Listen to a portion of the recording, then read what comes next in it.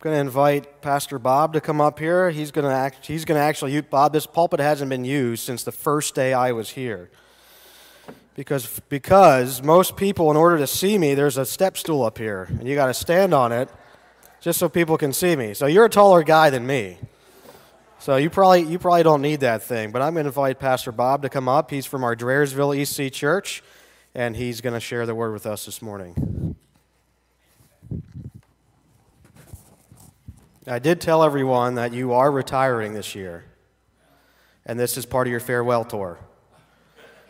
You know, making the rounds.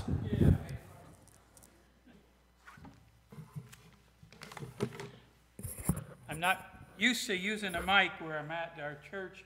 You put two of them inside of this, so bear with me.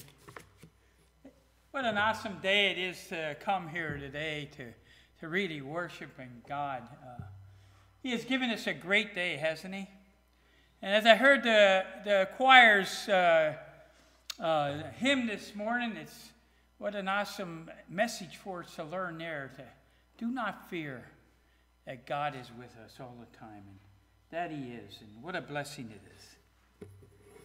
So I'm just honored to be here this morning. I want to thank uh, Reverend Tim, Ted, and all of you for having me this morning. Uh, it's Many years I've been driving past this church, and never did I ever dream I'd be standing up here to preach in it. But thank you all once again. Our scripture reading for this morning is taken from Paul's letter to the Galatians. It's from chapter 6, verses 1 through 11, or 1 through 10, and is found on page 889 of your Pew Bible, for those of you who'd like to follow along. Can everyone hear me? Okay. Brothers, if someone is caught in a sin, you who are spiritual should restore him gently. But watch yourself, or you also may be tempted. Carry each other's burdens, and in this way you will fulfill the law of Christ. If anyone thinks he is something when he is nothing, he deceives himself. Each one should test his own actions. Then he can take pride in himself without comparing himself to someone else, for each one should carry his own load. Anyone who receives instruction in this world must share all good things with his instructor. Do not be deceived. God cannot be mocked. A man reaps what he sows. The one who sows to please his sinful nature, from that nature will reap destruction. The one who sows to please the Spirit, from the Spirit will reap eternal life. Let us not become weary in doing good, for at the proper time we will reap a harvest if we do not give up. Therefore, as we have opportunity, let us do good to all people, especially to those who belong to the family of believers. It is the word of our Lord, and we do ask his blessing upon it. Amen. Let us pray.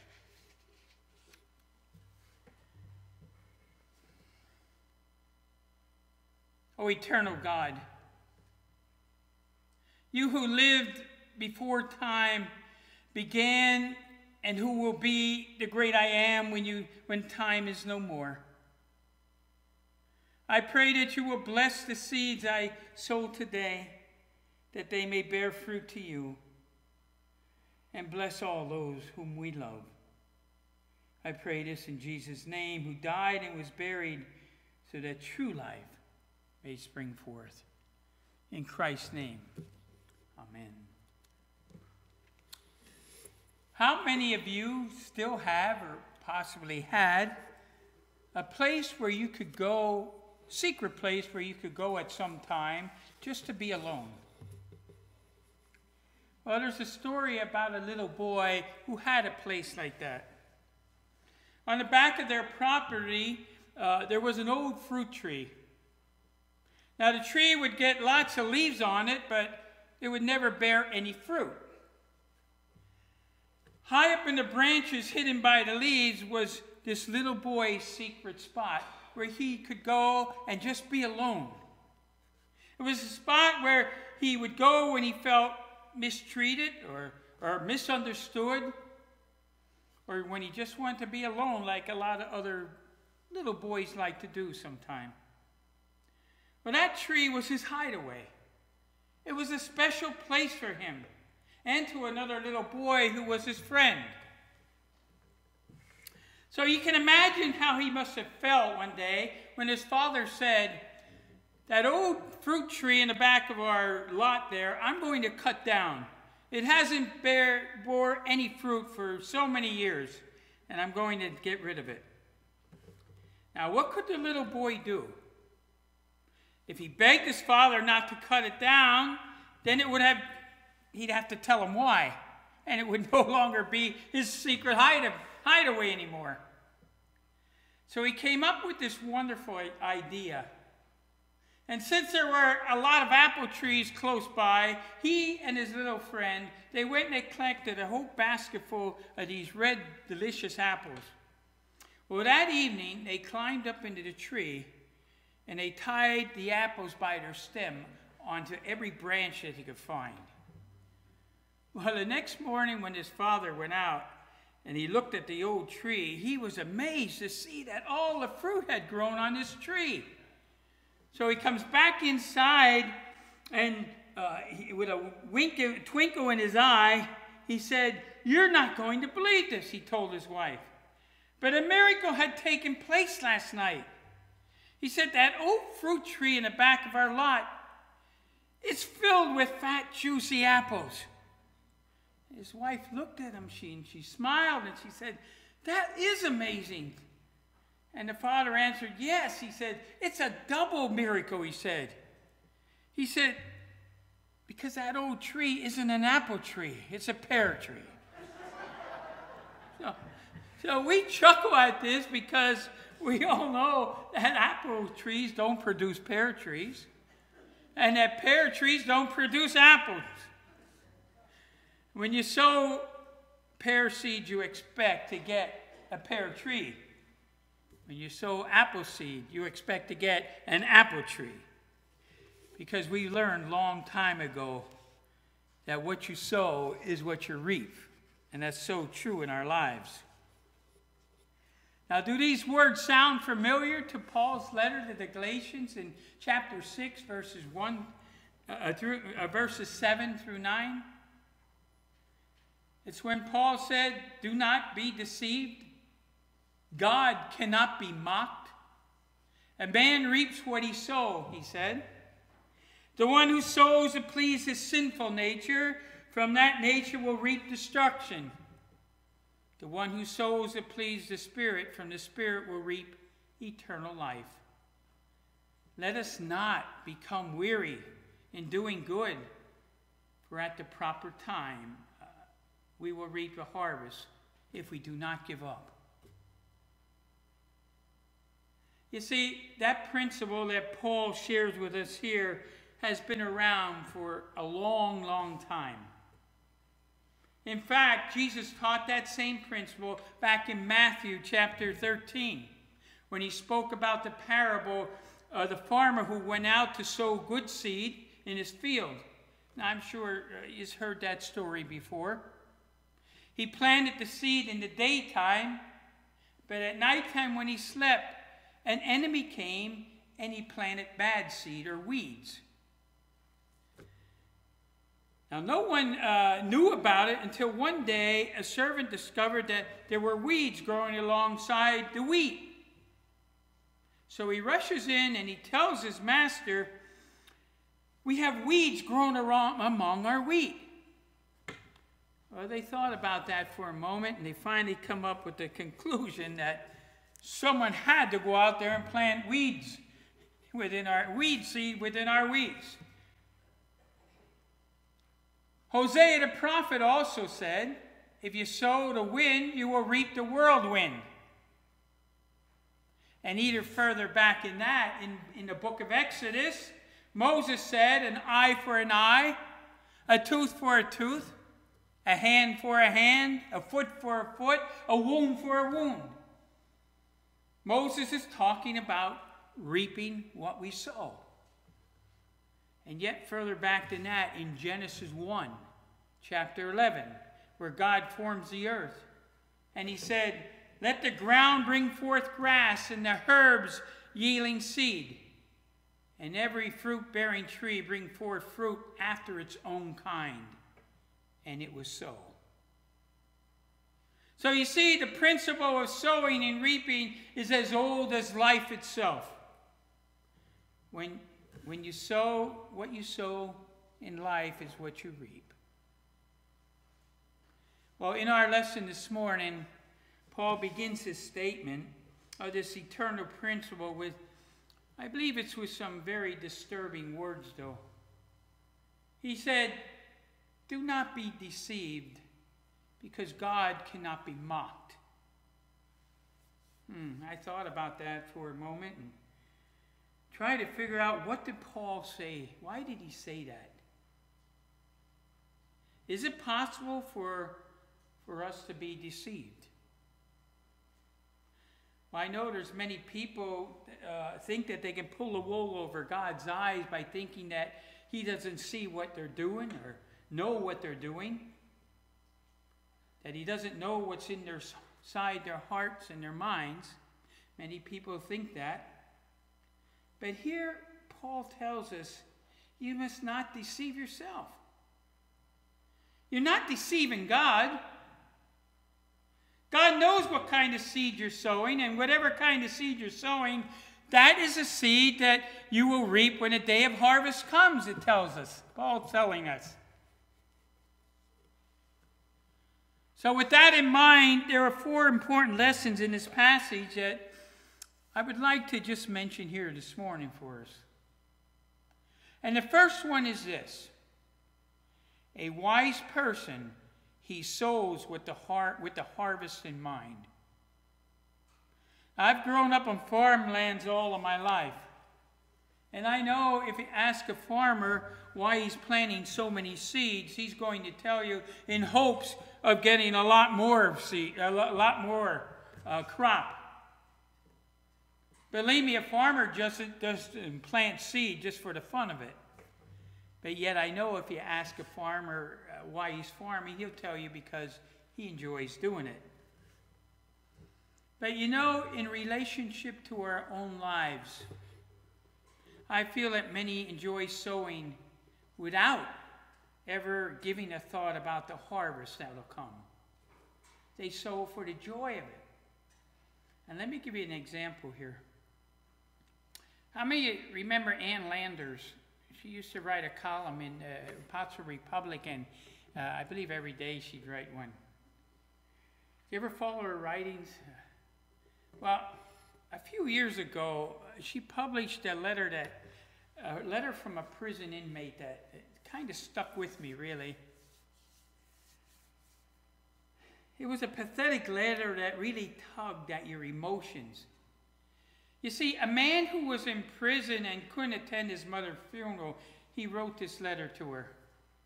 Now, he didn't write the letter to complain about the legal system because he, he already admitted that he deserved to get what he's getting there. But what he did, he wrote the story about his life, of how his mother's one wish was that he would be released from prison before she passed away and how that one wish was never realized. He said, The reason I'm in prison is because I thought that I could take shortcuts in life. And somehow I could ignore the rules and still get away with it. But I didn't. And you really never do. That's a good example of someone who sowed without thinking of the harvest in mind. But then again, think about the Apostle Paul. It would have seemed to be smarter for Paul to just remain a Jew. After all, he had prestige and honor among them. He was a, a, very respected teacher and leader of the Jewish circles. But when Paul became a Christian, that's when his suffering began. He was beaten, he was imprisoned, and finally he was killed because he believed in Jesus Christ. But you see, Paul, contrary to that inmate, Paul was sowing with his mind in the harvest. And you see, that made all the difference for him. So remember, the first lesson I want you to remember is a wise person sows with a harvest in mind. And the second lesson is brief, but also very important, I believe. You reap what you sow. Do you ever hear that, that statement during your life? You reap what you sow. If you sow wild oats, you're not going to get corn. You're going to get wild oats. Right now, I pray that I'm hopefully planting some good seeds and that you are as well. Because now is a time of planning for all of us. But we need to also remember that there are also two harvest times. There's the present time some of the seed we have sown in the past is now being harvested in our lives. Believe me, I'm starting to harvest some of the seed that I sowed years ago. An aching back and a knees that snap, crackle, and pop. So you know what I mean there. We go through many experiences in life. And now we begin, a lot of us, to reap what we sow. But there's also the future harvest for us.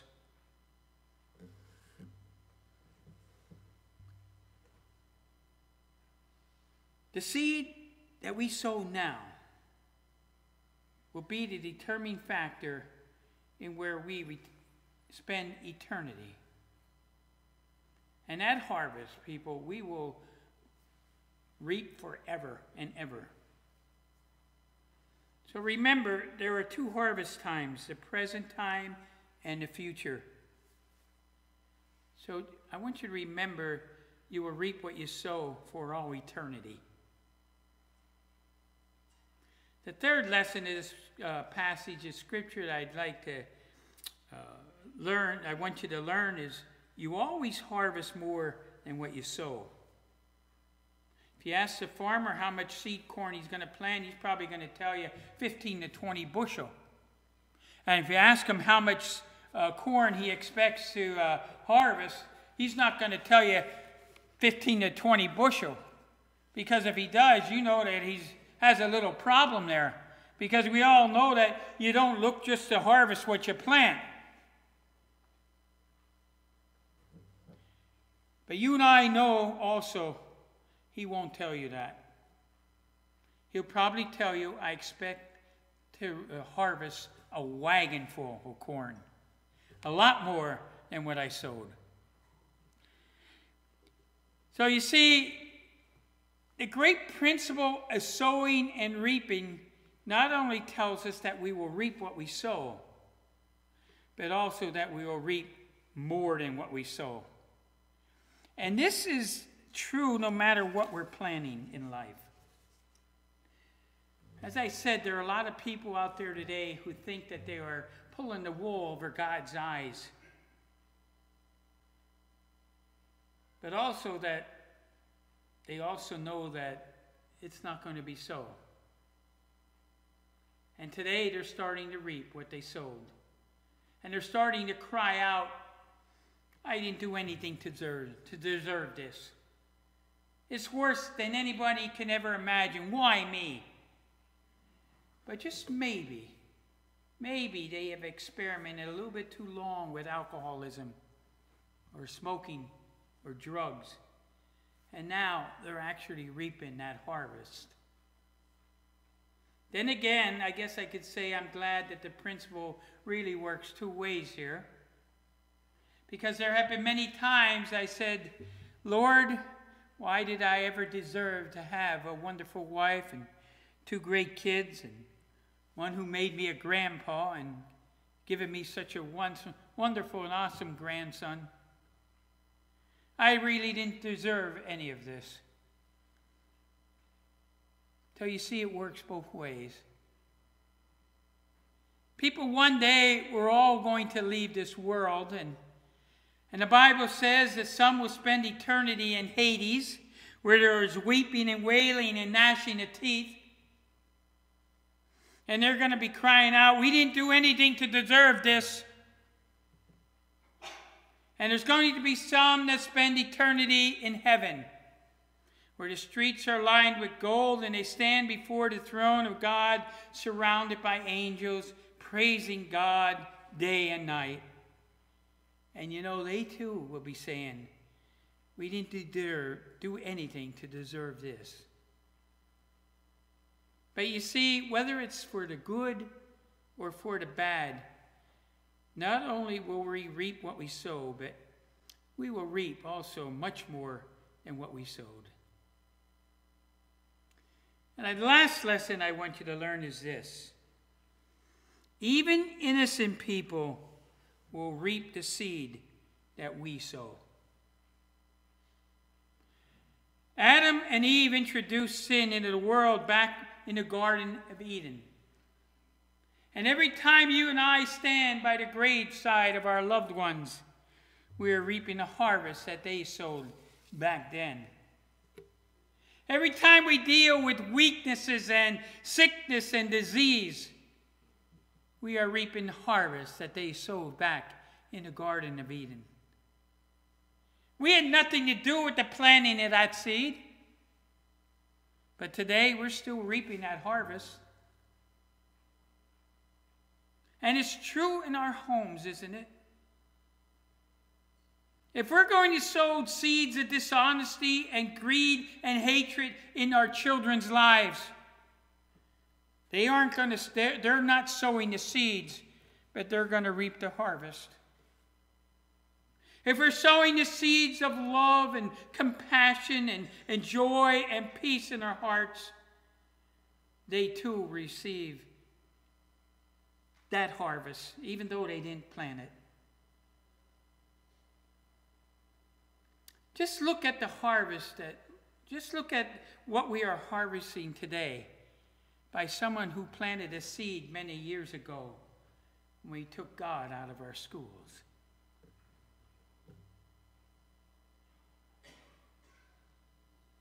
Paul said, Do not be deceived. Yeah, I wonder how many are being deceived. How many are thinking that they're pulling the wool over God's eyes and that they're getting away with something? I can't help to think that how many of us think only about the fun of sowing and never about the harvest in mind? How many of us think that we can actually live according to the world and still inherit heaven. Paul says, Do not be deceived. God cannot be mocked. So, in closing, here is the greatest lesson to learn, I believe, from these scriptures. If you're not very proud of the seed that you sown years ago, or even today yet, the good news is Jesus Christ came to die for your sins and for my sins and to cleanse us from cleanse us with his own precious blood.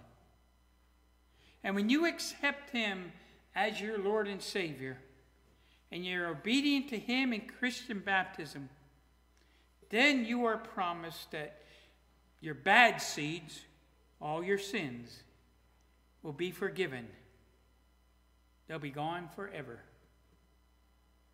That's the greatest lesson, I believe, of all to learn here. And that's the Lord's invitation to all of us. And I pray that each one of us will respond to that. Amen. Let us pray.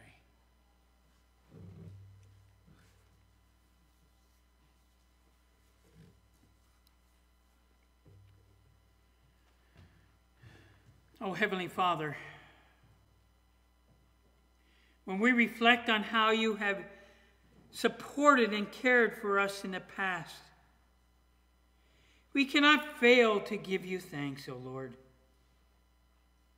When we consider the way you give us courage and, and help for each new day, oh Lord, we are filled with a sense of gratitude and praise in our lives. When you lift us up from the pit of doubt and despair, our whole life feels renewed and refreshed. Thank you, Father. Oh, what a comfort it is, Lord, to know the love and support you bring to us through your Son and by your Spirit. Oh, Father, we ask that you let us not forget those this morning that know little else but sadness in their lives. In our sense of gratitude and praise, O Lord, let us not forget those who planted and never thought about the harvest, and now their lives are filled with regrets and broken hearts in our feelings of support and guidance, O Lord. Let us not forget those who are harvesting seed they didn't plant and are now struggling with life's difficulties and disappointments, alone and uncared for. In our desire to give you praise, we pray for the suffering of this life. We remember all of our loved ones in nursing homes all of our shut ins, the homeless in our community and in our inner cities, all those who hunger and thirst, those in hospitals and those who are filled with worries and fears, the lonely, and those who are grieving today. Oh, Father, you are not only the God of this world you are the ruler of your heavenly kingdom. Strengthen us, we pray, while we live out our life on this earth, showing people your compassion and your love. Show us the reality of your kingdom where there is no more suffering, no more pain or regret, so that we may also share that with those who are without hope here in this world. For Lord, we just ask and we pray all these things in the name of your precious name, Jesus Christ.